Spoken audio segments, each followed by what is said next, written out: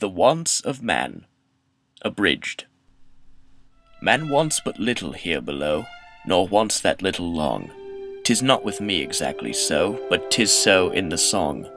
My wants are many, and if told, would muster many a score, and were each wish a mint of gold, I still should long for more. What first I want is daily bread, and canvas backs and wine, and all the realms of nature spread before me, where I dine. Four courses scarcely can provide my appetite to quell, with four choice cooks from France beside, to dress my dinner well. What next I want at princely cost is elegant attire, black sable furs for winter's frost, and silk for summer's fire, and cashmere shawls and Brussels lace my bosom's front to deck, and diamond rings my hands to grace, and rubies for my neck.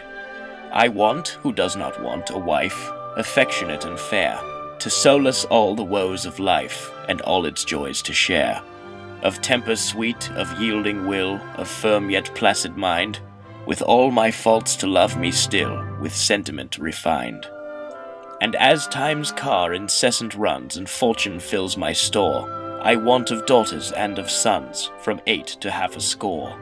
I want, alas, can mortal dare such bliss on earth to crave, that all the girls be chaste and fair, the boys all wise and brave. I want a warm and faithful friend to cheer the adverse hour, who ne'er to flatter will descend, nor bend the knee to power.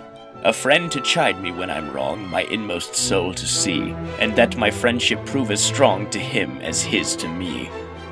I want the seals of power and place, the ensigns of command, charged by the people's unbought grace to rule my native land.